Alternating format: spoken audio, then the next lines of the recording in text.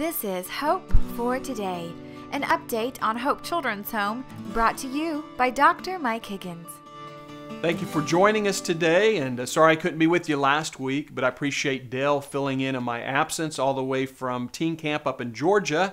And what a great week of camp they had. We had several teenagers made decisions to trust Christ as their Savior, as well as I think every teenager made some decision for the Lord. So it was just a great week, and uh, we appreciate your prayers. And now uh, we're looking at those young people, encouraging them and their decisions they've made for the Lord.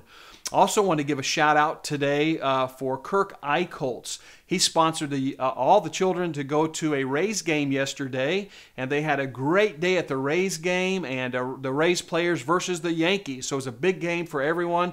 But of course, we love the Rays, we love the Rays players, and the Rays wives do things for the children's home all throughout the year. And uh, we just appreciate the Rays organization and uh, really love the opportunity of being able to go and cheer them on. And uh, the kids were super thankful for the great meal that uh, Brother Eichholz also sponsored for them. So just a a tremendous day, and uh, we're so thankful for the opportunity for the kids to get off campus uh, a last time before school starts here in just a couple of weeks. And then I wanted to bring you uh, back to the uh, Roundup app that we featured a couple of weeks ago. Uh, this is what the app would look like as you would search for it on your phone.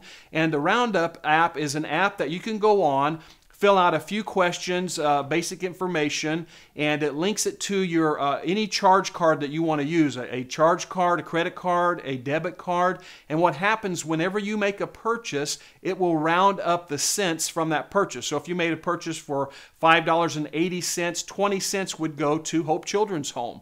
And uh, the app works, uh, you can limit how much it'll donate each month. Uh, and it's just amazing that a few cents here and there adds up to a great donation for Hope Children's Home.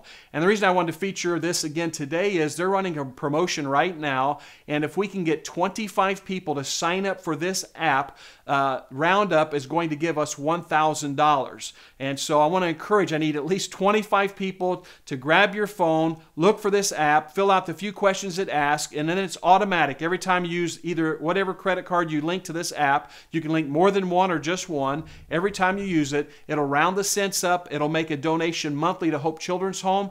We'll get record of that donation. We'll send you a, a receipt for your donations. And so it's just a win-win for everybody. You'll never miss the few cents uh, of each transaction.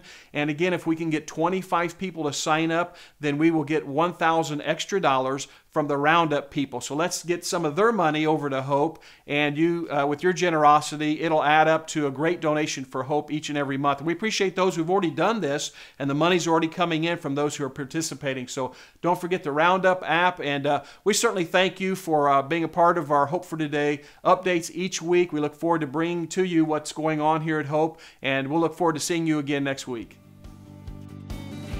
Thank you for watching Hope for Today. If you would like to learn more about our ministry, please log on to hopechildren'shome.org. Join us next week as we bring you the latest on what's happening at Hope Children's Home.